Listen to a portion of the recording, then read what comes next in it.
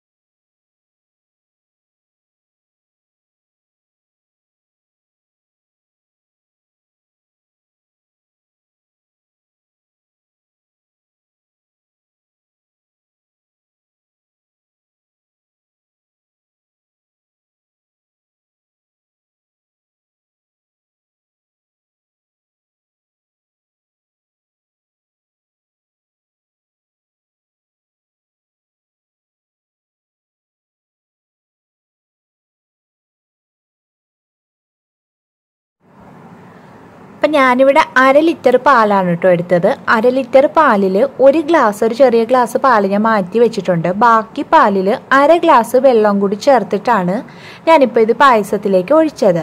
അപ്പം ഈ സമയത്ത് നമ്മൾ തേങ്ങാപ്പാലാണ് ചേർക്കുന്നതെങ്കിൽ രണ്ടാം പാലില്ലേ തേങ്ങയുടെ രണ്ടാം പാലാണ് കേട്ടോ ഈ സമയത്ത് ചേർത്ത് കൊടുക്കേണ്ടത്.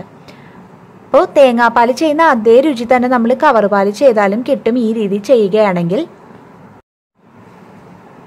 പായസം കുറുകി വരാൻ തുടങ്ങിയിട്ടുണ്ട്. നമ്മൾ സൈഡ് ചേർത്ത് ഇളക്കി കൊടുക്കണം കേട്ടോ. നമ്മൾ അടപ്രഥമനൊക്കെ ചെയ്യുന്ന കൂട്ട് സൈഡ് ചേർത്ത് ഇളക്കി കൊടുക്കണം. ഇല്ലെങ്കിൽ നമ്മുടെ ഈ ശർക്കര സൈഡിലൊക്കെ കട്ട പിടിച്ചിരിക്കാൻ ചാൻസ് ഉണ്ട്.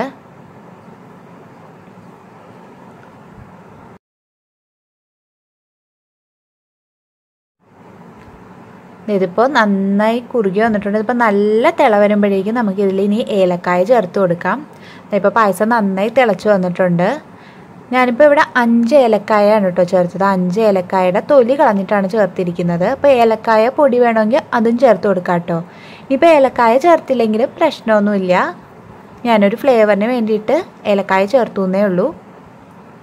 ഇനി ഇതിലേക്ക് നമുക്ക് നേരത്തെ മാറ്റി വെച്ചിട്ടുണ്ടെന്ന് പറഞ്ഞില്ലേ ഞാൻ പാൽ? ഒരു ഗ്ലാസ് പാൽ. അതാണ് നമ്മൾ ഇനി ഇതിലേക്ക് ചേർത്ത് കൊടുക്കാൻ പോകുന്നത്. അപ്പോൾ തേങ്ങാപ്പാലിലാണ് നമ്മൾ ചെയ്യുന്നതെങ്കിൽ തേങ്ങയുടെ ഒന്നാം പാലാണ് കേട്ടോ ഈ ടൈമിൽ ചേർത്ത് കൊടുക്കേണ്ടത്.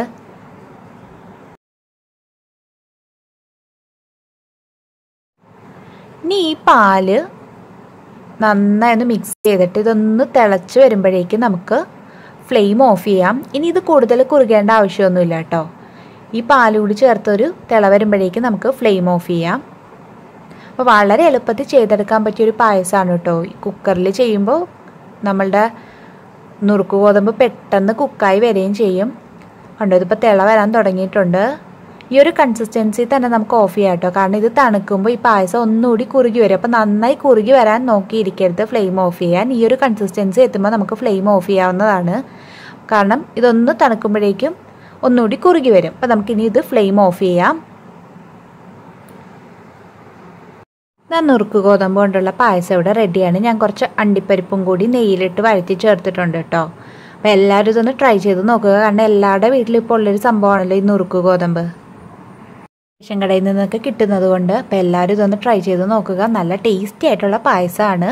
വീഡിയോ എല്ലാവർക്കും ഇഷ്ടമായെന്ന് വിചാരിക്കുന്നു. ഇഷ്ടമായെങ്കിൽ ലൈക്ക് ചെയ്യാൻ മറക്കരുത്. ഒപ്പം ചാനൽ ഇതുവരെയും സബ്സ്ക്രൈബ് ചെയ്തിട്ടില്ലാത്തവരുണ്ടെങ്കിൽ പ്ലീസ് ഇപ്പോൾ തന്നെ സബ്സ്ക്രൈബ് ചെയ്യാൻ മറക്കരുത്.